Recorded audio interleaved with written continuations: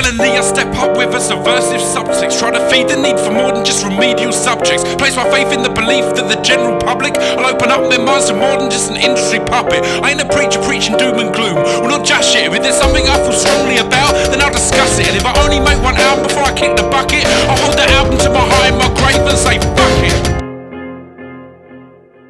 Waiting for the beat to kick in, but it never does. Waiting for my feet to grow wings that lift me above all of these tiresome things that we know and love. Waiting for the beat to kick in, but it never does. Waiting for the beat to kick in, but it never does. Waiting for my feet to grow wings that lift me above all of these tiresome things that we know and love. Waiting for the beat to kick in, but it never does. A lot of my poems and writings seem to start with me waking up or being in a dream or dreamlike state. Now, this implies a certain level of abstraction in my work. You might say I'm keeping it surreal, but I'd rather you didn't. The fact is, I sleep a lot. It's as simple as that. and I like sleeping, man. It's a nice place to be.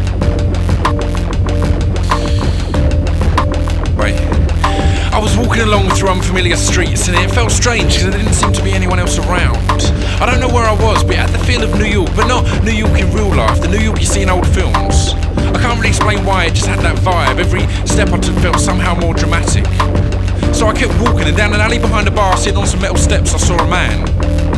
From the look and smell of him, it was clear he enjoyed a drink, but he wasn't in such a state I felt to be any kind of irrational threat, so I approached him with due care. Ah, Mr. Pip, he said out loud, we've been awaiting you. My name is Elwood P. Dowd. Now, just what he meant by we, I didn't really get, but all the same, I took a seat next to him on the step. He said you'll meet a few people before this day is through who will administer advice and guidelines to you. Now, what each of us says, I'll tell you now is true. Whether or not you take that advice is for you to choose. At that point, he acted like someone had whispered in his ear, which, since no one else was there, was pretty damn weird. Awkwardly, I looked away and kinda played with my beard. He cleared his throat for a second and then said, Listen here.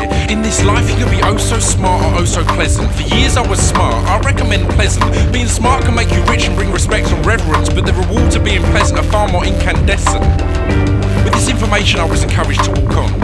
I continued alone through these empty streets, thinking over what Elwood had said, but at the same time thinking about how fucking strange the day had been so far. I was in my own little world when a hand was placed on my chest, and a guy said, Look out, there's some broken glass on the floor there. Name is Lloyd Dobler. I'll get straight to the point, won't take too much time from you. I'm probably the youngest person you'll get advice from today. And you may think a guy my age wouldn't have anything to say, but it's said that observation, that old age brings wisdom, and I observe every single life lesson I'm given. I won't attempt to tell you about how to love or be loved, because you get a different genie each time that lantern is rubbed. But I will offer you advice on dealing with life.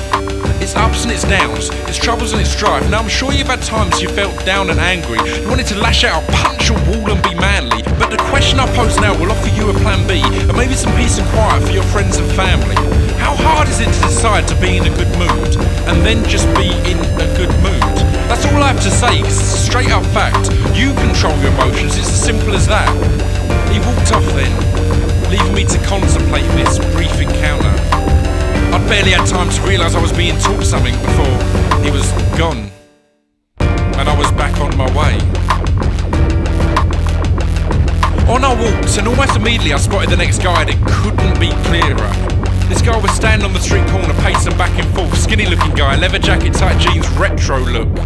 I've rarely seen someone look quite so uncomfortable in their own skin, twitching, smoothing his hair back, kicking the floor, looking up and down the street. He clearly didn't enjoy waiting around, so I approached him quickly to put him out of his misery and to let him start his spiel. Name is Billy Brown. I ain't gonna give you some quote. Instead, I'm gonna use some stuff that you wrote. Always had the feeling I could never be the villain, cause the villain in the films is always back. backlit. Always had the feeling I could never be the villain, cause the villain in the films is always back. backlit.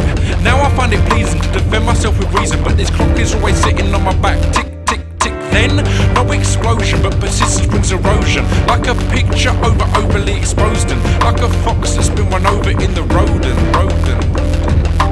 Basically, what I'm trying to say to you is you don't achieve anything by letting the past dwell within you. Getting all pent up and angry about stuff just eats away inside you. What's that other line of yours? If you can't forgive and forget. How's this? Forget forgiving and just accept, then that's it. See, that's how it's gotta be. Then you can fall in love, get on with your life, and be free. Almost before he'd even finished that sentence, he was off down the street, hands in his pockets, hurrying away.